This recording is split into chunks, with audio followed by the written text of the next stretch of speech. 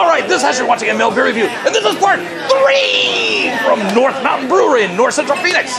Check it out, yeah.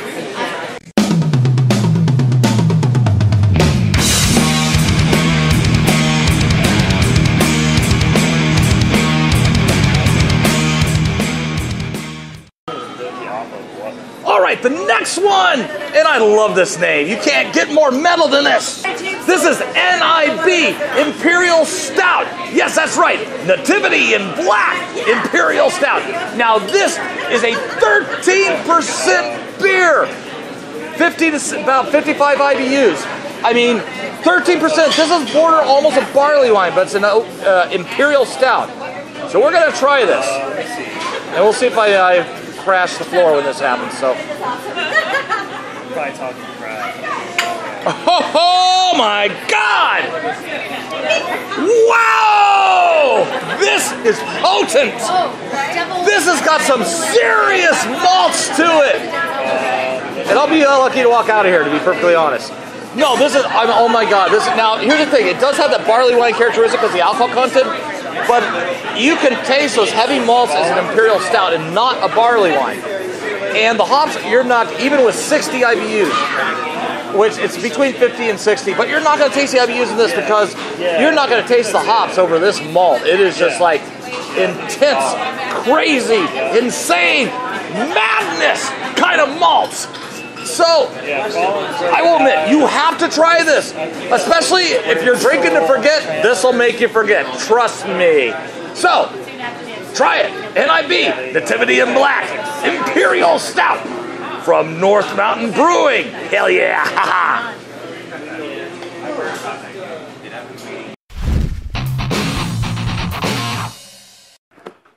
All right, now I'm hanging out with Robert, who is the brewer slash owner of North Mountain Brewery down in North Central Phoenix.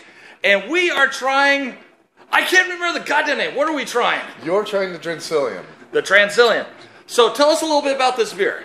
Okay, it's it's uh, in the style of an old ale. It's a little traditionally uh, old old ales are a little lower in alcohol. Nowadays we don't make them so low because we- Yeah. we, really like them and we bump them up. So that's almost 11% alcohol. Okay. Um, it's got a lot of deep crystal in it, so it gives you a lot of those darker fruit flavors, some of the pruny, raisiny flavors, and it, Interesting. I like the sound of it. It's very tasty beer. So, I'm going to try this out.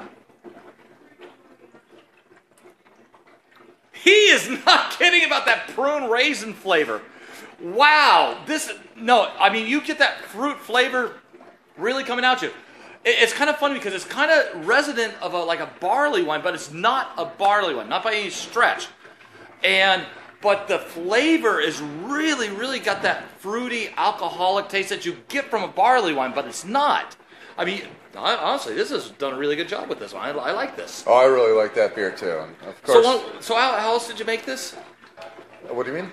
How did you make this, or what, Oh. what are some of the ingredients you used? And Oh, it's it's mostly it's it's standard British uh, British malt base, and it has all the dark crystals. We even went to a Patagonian malt because they had the deepest crystal at 100, 160 Lovibond. So it goes basically starts at uh, at 77 and works all the way up to 120. It's uh, all the deep crystals. Yeah, that's a not a big hop character, but any type of heavy alcohol beer, you're not going to get a big hop character with it unless you get up to 120, which is just insane. But this is really, really good beer. So, you guys, if you like your strong beers, you have to try this. This is, what is it? The Drincilian. Drincilian! You got to try it. This is awesome stuff. Yeah!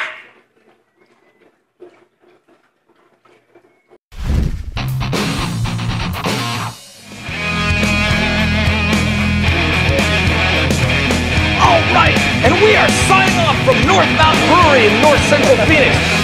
Man, they got some awesome beers here. It is something else to try. So, you gotta try it. So, that being said, drink beer, listen to metal, and check out North Mountain Brewery in North Central Phoenix. You gotta try it. Stay metal. Yeah. It is NIB.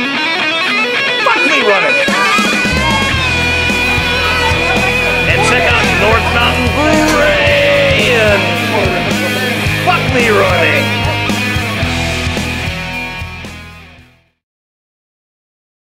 You're not worthy. You're not worthy.